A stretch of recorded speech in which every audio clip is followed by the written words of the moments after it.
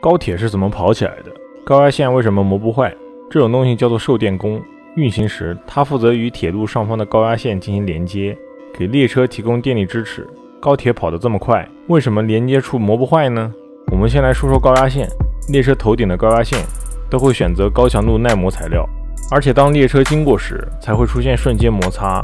与其担心高压线磨损，不如把注意点放到受电工上。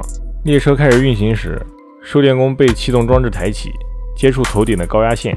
气动装置上有气动阀门，可以让受电工以一定压力与电网保持接触。而受电工与电网连接的部分叫做碳滑块。碳滑块是一种运用多种合成材料的易消耗品，它导电性能好。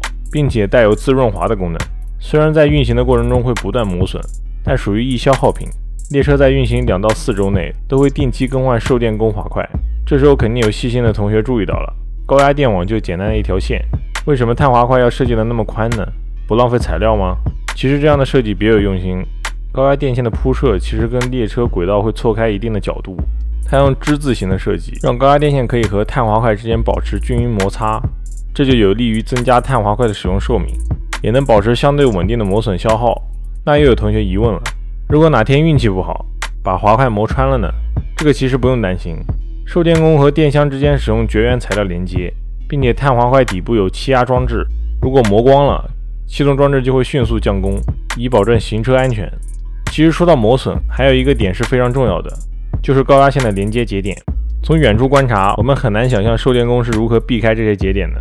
但其实我们放大之后就可以看到，节点只是连接到高压线的顶部，并不会参与到接触磨损中。小时候我们都学过，电这种东西需要保证闭合的回路，才能让电灯亮、电机转。而列车运行也一样。前面我们说的都是列车头顶的高压接触网，那另一条线在哪儿呢？相信很多同学都已经猜到了，那就是列车轨道。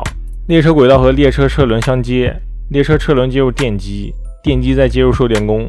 受电工接入高压电网，形成回路，但在这期间还需要进行交流电、直流电的转换以及变压转换。在一些城市轨道交通中，由于各方面原因不利于铺设高压电网，那么第三轨就出现了。这个轨道其实就是把顶部的电网铺设到地面，是一条单独用来供电的轨道，与列车集电靴连接之后，同样为列车提供电力支持。优点就是不影响城市景观，检修便捷，架设成本较低的。缺点也很明显。由于安装在地面，形成回路较容易，所以也相对比较危险，对于安全防护要求更高。最后，不知道大家有没有发现一个 bug？受电弓升起之前，列车是没有办法形成电力回路的，也就是说，此时的列车可能是没电的。那它是怎么让受电弓升起来的呢？这个问题就很好办了。